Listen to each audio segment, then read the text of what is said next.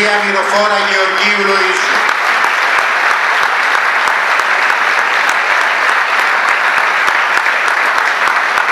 Η κυρία Κυριακή Ευκαινίου.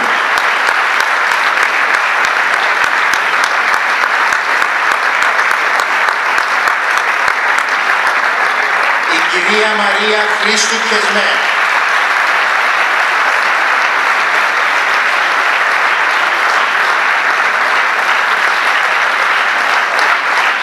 Η κυρία Χριστίνα Σολομή.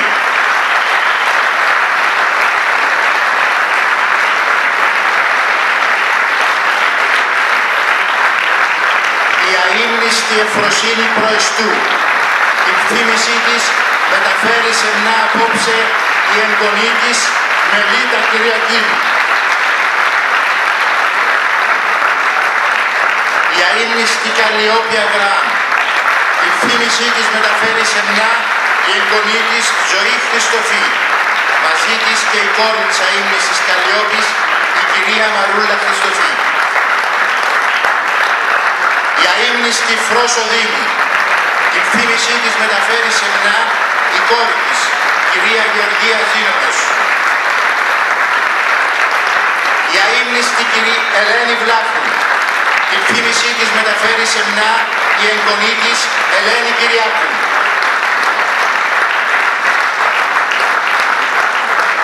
Η αείμνηστη Τασούλα Βασιλείου. Η κτίμησή της μεταφέρει σε μια η αδερφότεχνη της Φίβη. Μαζί της και η αδερφή της αείμνηστης Τασούλας, η κυρία Άννα Τόζη. και η ομάδα παιδιών αγνοωμένων, την οποία εκπροσωπούν τέσσερις εξ αυτών που δημιούργησαν την ομάδα. Οι κυρίες Δέσποινα Γρηγορίου, Γεωργία Παύλου, Μούλα Θεοδόρου και Πίνα Αγαπίου.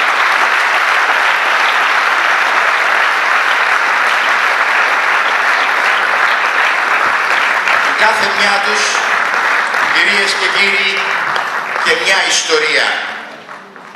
Τα σπλάχνα τους κι η θάλασσα ποτέ δεν ησυχάζουν. Παραμένει να είναι ο συνδετικός κρίκος των σχολείων με το δράμα των αγνωμένων και πεσόντων μας, καθώς και με την κατεχόμενη γη μας. Είναι και θα είναι το πιο στιβαρό οχυρό απέναντι στη λύθη. Η Χαρίτα Μάντολες. Το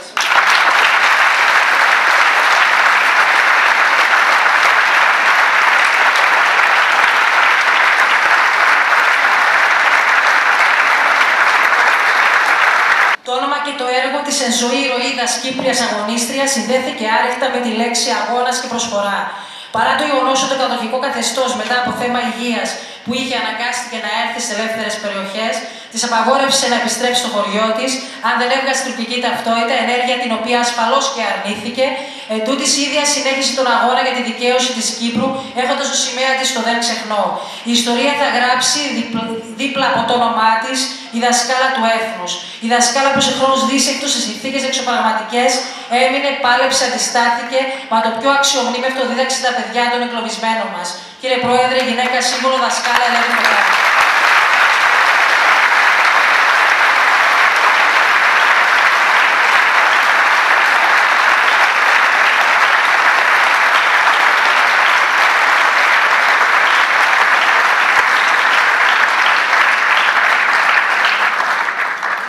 Θέλω να σας εξομολογηθώ ότι αισθάνομαι πολύ άβολα, διότι οι τιμές δεν αξίζουν σε μας.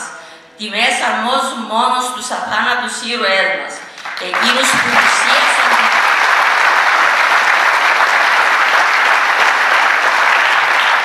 σε το πεντάχρονο Χριστάκι της, ο οποίος τραυματίστηκε από τις σφαίρες των κατακτητών.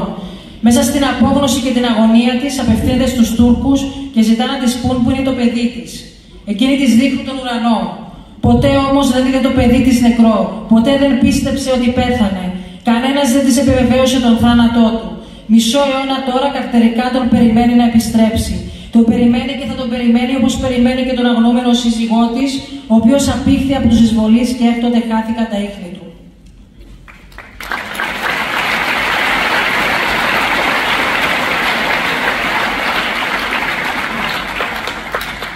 Κυριακή Ευγενίου.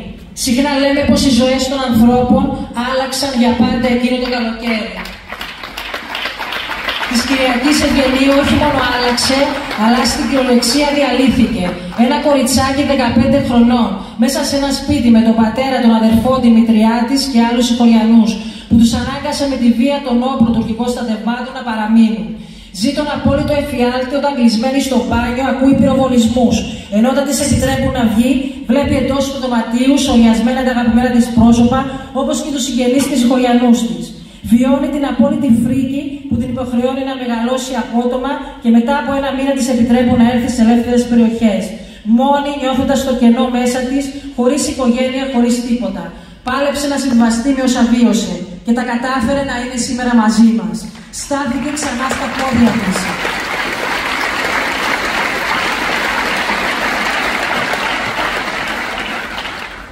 Μαρία Χρήστου Κεσμέ.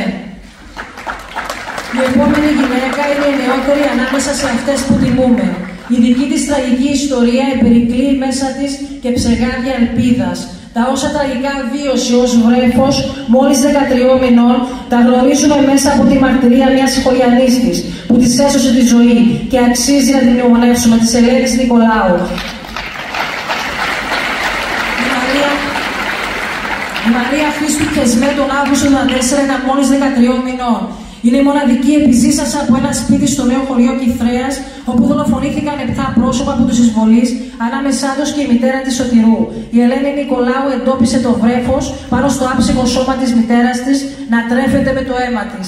Χωρίς δεύτερη σκέψη το διέσωσε και λίγες ημέρες αργότερα το παρέδωσε στον Ερυθρό Σταυρό. Σήμερα το τότε βρέφος βρίσκεται εδώ, εκπροσωπώντας τα παιδιά της εισβολής, τα παιδιά των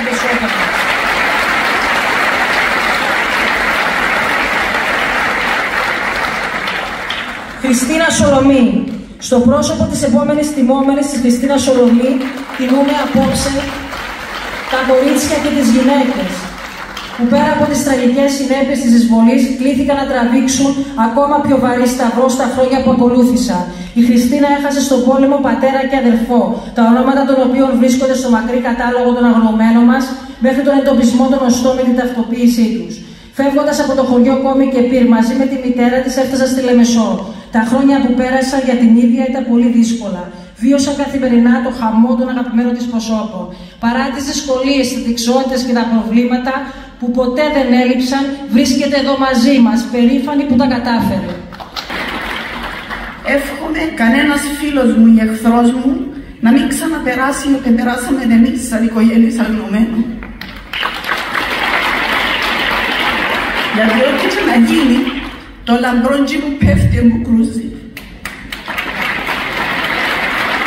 Ο, πίσω, ο πόνος πίσω από τις κλειστές πόρτες είναι πολύ μεγαλύτερος από ό,τι φαίνεται εξωτερικά.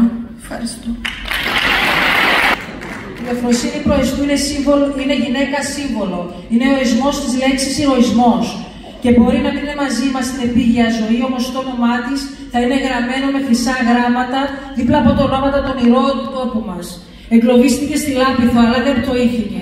Λίγο αργότερα, 12 στρατιώτες εξαντλημένοι από τις σκληρές μάχες έφτασαν στο κατόφλι τη ζητώντας βοήθεια. Δεν το σκέφτηκε ούτε λεπτό. Ο φόβος και η μυρωδιά του θανάτου που παραμόνευε δεν την πτώησε. Οδήγησε τους 12 στρατιώτες σε μια μικρή σπηλιά και για ένα ολόκληρο μήνα τους φρόντιζαν ελληπώ μέχρι που συνελήφθηκε από τους Τούρκους. Την οδήγησα στο κάστρο της Κερίνιας, την βασάνισαν, την ξυλοφόρτωσαν, τη έκανα τεχνητούς πληθυσμούς στη θάλασσα, εικονικές εκτελέσεις. Ακόμα και στον δρόμο την έσαιρνα γυμνή για να την ξεφτυλίσουν, σε μια προσπάθεια των Τούρκων να ομολογήσει για τους στρατιώτες που φύλαγε. Η Εφροσύνη Προεστού ανήκει σε εκείνη τη γενιά που δεν λύγησαν στους φρικτού πόρου και στην απειλή του θανάτου. Δεν τη απέσπασαν ούτε λέξη από το στόμα για τους 12 στρατιώτες οι οποίοι γλίτωσαν τη σύλληψη και την εκτέλεση και επέζησαν όλοι. Έξι εξ αυτών είναι σήμερα εδώ μαζί μας για να τιμήσουν όπως και εμείς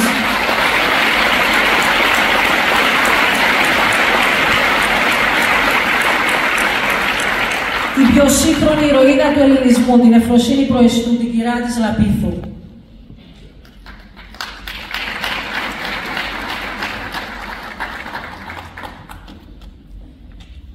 Καλλιόπη Αβραάμ. Κύριε Πρόεδρε, η γονή της ζωής Χριστοφίνα απόψε μαζί μας για να παραλάβει τον ελάχιστο φιλόμενο έπαινο. Και αν η Εφροσύνη Προεστού θα είναι για πάντα η μάνα της εθνικής φρουράς, η Καλλιόπη Αβραάμ θα μείνει στην ιστορία ως η αγιά της Ελδίκ. Γεννημένη το 1896. Η γιαγιά Καλλιόπη ζούσε δίπλα από το στρατόπεδο της Ελβίκ. Τι κι αν η οικογένειά της την παρακαλούσε να εγκαταλείψει. Τι κι αν οι ίδιοι στρατιώτες της έλεγαν πως ήταν πολύ επικίνδυνα τα πράγματα. Η ίδια απαντούσε, οι λεβέντες δεν φοβούνται να πεθάνουν και θα φοβηθώ εγώ η παλιόγρια.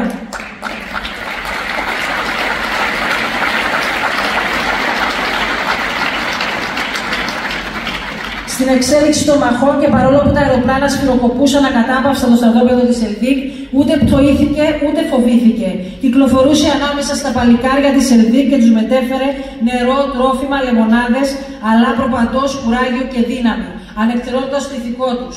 Μετά το πέρας των μαχών, κατά την περισυλλογή των πεσόντων, εντοπίζεται νεκρή να αγκαλιάζει ένα στρατιώτη της Ελβίκ. Να τον αγκαλιάζει όπως η μάνα αγκαλιάζει το παιδί της. Πόσο Δήμου, Κύριε Πρόεδρε, η κόρη της Γεωργίας Ζήνωνος είναι απόψε μαζί μας. Η κάθε γυναίκα, η κάθε γυναίκα που τιμούμε σήμερα μας δίνει από ένα μάθημα ζωής. Όλες οι γυναίκες αποτελούν αστήρευτη πηγή έμπνευσης με τις πράξεις, τις αποφάσεις και τα πιστεύω τους.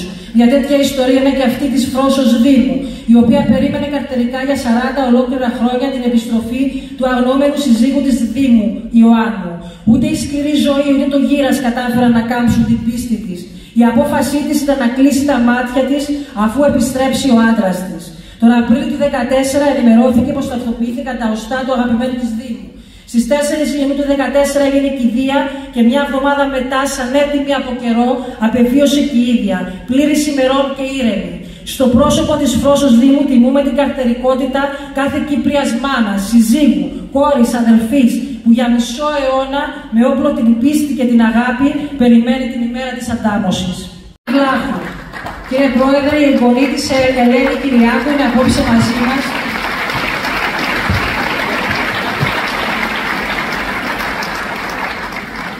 η Ελένη των Εδοφραγμάτων, η μάνα των αγνοωμένων, η μάνα με τις πλεξούδες που έκανε τάμα στον Απόστολο Ανδρέα να της φανερώσει το πρωτότοκο από τα έξι παιδιά της. Αυτή ήταν η Ελένη Βλάχου, η οποία ταυτίστηκε από την πρώτη στιγμή με το δράμα των αγνοωμένων. Με μια κρεμασμένη φωτογραφία του Νίκου της στο λαιμό, το βασανισμένο της πρόσωπο έγινε το σύμβολο του αγώνα. Η μάνα των αγνοωμένων έφυγε από τη ζωή το 2014. Κύριε Πρόεδρε, το κοριτσάκι που ήταν τότε μαζί της στα Σούλας Βασιλείου στο φορτηγό και κατάφερε να σωθεί η αδελφότερη τη Φίβη, αλλά και η αδελφή της είναι εδώ μαζί μας. Δεν είναι ένα πρόσωπο, αλλά είναι μια οικογένεια. Είναι η μητέρα Τασούλα Βασιλείου και τα δύο κοριτσάκια της, η Μαρία Κυριάκου 5 ετών και η Λαμπιδόνα Κυριάκου 4 ετών στο πρόσωπο της μάνας Τασούλας Βασιλείου τιμούμε σήμερα την κάθε Κύπρια μάνα που θυσιάζεται για τα παιδιά της. Τη μάνα που μέσα στις χαοτικές συνθήκες του πολέμου, στην προσπάθειά της να γλιτώσει από το μέρος των κατακτητών, μπήκε σε ένα φορτηγό το οποίο εκλοβίστηκε μέσα σε πυρκαλιά που ξέσπασε στην περιοχή του κάμπου από τους τουρκικούς οργανισμούς. Οι περίπου 50 επιβαίνοντες εγκαταλείπουν το φορτηγό που τους μετέφερε και τρέχουν να σωθούν. Όλοι τα καταφέρουν εκτός από την Τασούλα και τα δύο κοριτσάκια που εντοπίστηκαν καμένα στην αγκαλιά της μητέρας τους.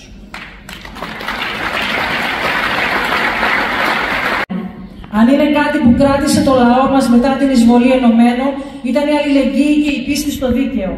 Τα παιδιά των αγνωμένων που μεγάλωσαν με την απουσία, που μεγάλωσαν σε οικογένειες πληγωμένες και μισές, παιδικές ψυχές που μεγάλωσαν απότομα, περήφανες για τις θυσίες των προγόνων τους. Αυτά τα παιδιά σήμερα μεγάλωσαν και τέσσερα από αυτά αποφάσισαν να δημιουργήσουν μια ομάδα. Την ονόμασαν Ομάδα Παιδιών Αγνωμένων.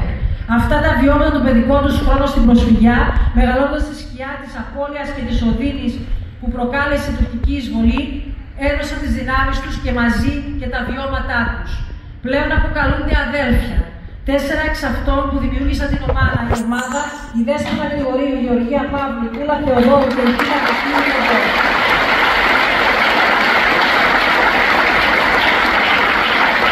Μεγαλώσαμε σε μια ακροτηριασμένη οικογένεια.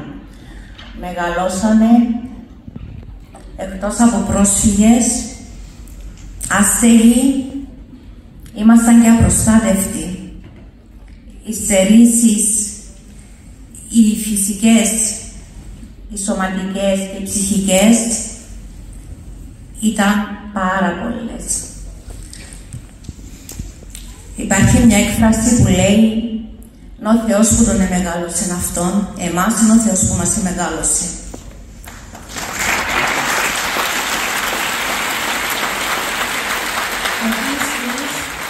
Θέλω να διαβεβαιώσω τις μαμάδες μας ότι είμαστε άξιοι συνεχιστές του έργου τους όπως εξοπλίσαμε. Θα αγωνιστούμε μέχρι να διαδεχτεί και η τύχη του τελευταίου μας αγωνόμενου. Ευχαριστούμε.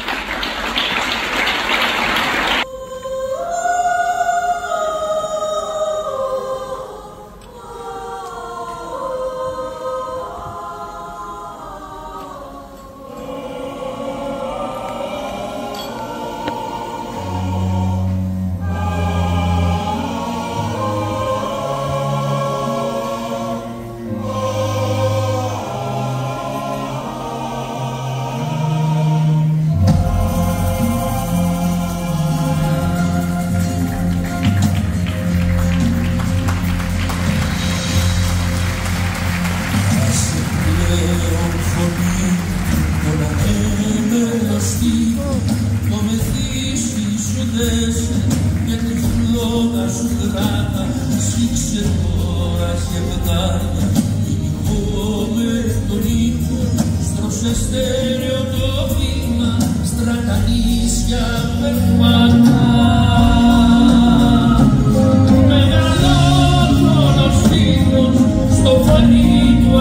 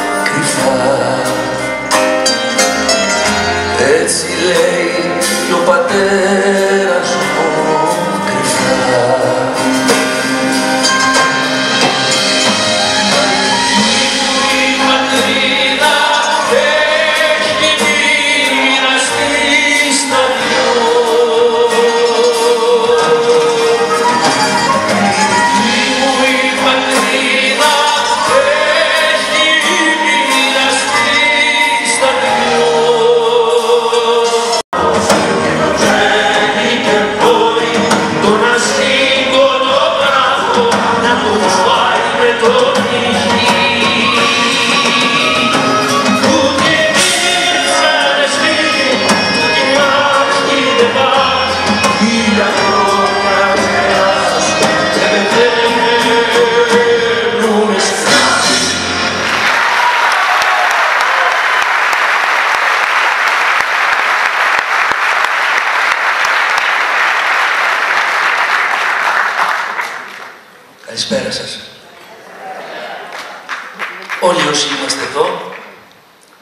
ξέρουμε γιατί ακριβώς είμαστε.